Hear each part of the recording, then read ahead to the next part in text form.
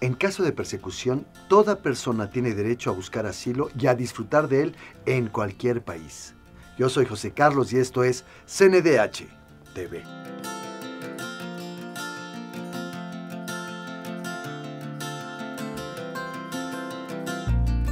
México, como ya les he dicho antes, tiene muchos héroes no tan conocidos que son tan grandes como los que aparecen habitualmente en las monografías, tan útiles en nuestros primeros años escolares.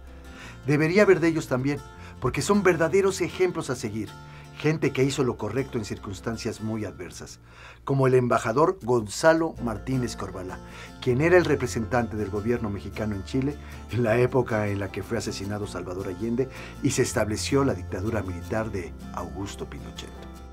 Martínez Corbalá, defensor del derecho al asilo político, abrió las puertas de la embajada y refugió a todos los chilenos que solicitaban asilo, del mismo modo en el que tres décadas atrás lo había hecho Lázaro Cárdenas al abrir las puertas del país a miles de republicanos españoles perseguidos por la dictadura de Francisco Franco.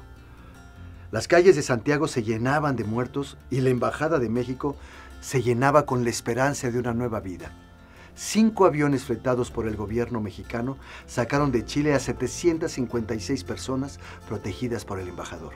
Un dato importantísimo es que en su residencia encontraron refugio la viuda de Allende, sus hijos y nietos, quienes también se refugiaron en nuestro país.